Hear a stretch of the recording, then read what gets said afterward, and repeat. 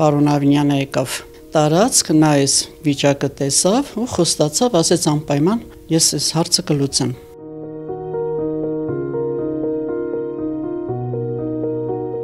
Ամիսներ առաջ Երևանի քաղաքապետ Տիգրան Ավինյանը շուրջ 40 ընտանիքների հանձնեց նոր բնակարանների բանալիներ ու բնակարանների գնման վկայականներ։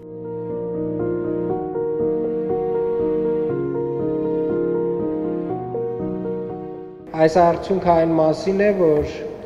4-րդ կարգի վթարային շենքերում Երևան քաղաքում որևէ մեկը չպետք է բնակվի, որովհետև ձեր անվտանգությունը մեզ համար առաջնահերթություն է։ 4-րդ կարգի վթարայնության Արցախի 4-րդ նրբանցքի 10-րդ հանրակացարանային եւ 10 դրոպ 1 շենքերի բնակիչներն արդեն ապրում են անվտանգ ու հարմարավետ պայմաններում։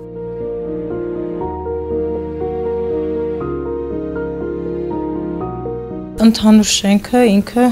արդեն 4-րդ կարգի վթարային էր։ Անձրևների ժամանակ ամբողջ շենքը թրջվում էր։ Այս բնականը, որ տվել են, շատ հարմարավետ է։ Շնորհակալ ենք քաղաքապետարանից, որ մեր խնդիրները լուծեց, մեզ նոր բնակարանով ապահովեց։ Նոր բնակարանները ապահովված են անհրաժեշտ բոլոր պայմաններով։ Իմը 32 քառակուսի էր այնտեղ։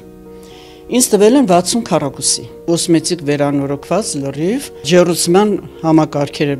բոլոր սենյակներում կա։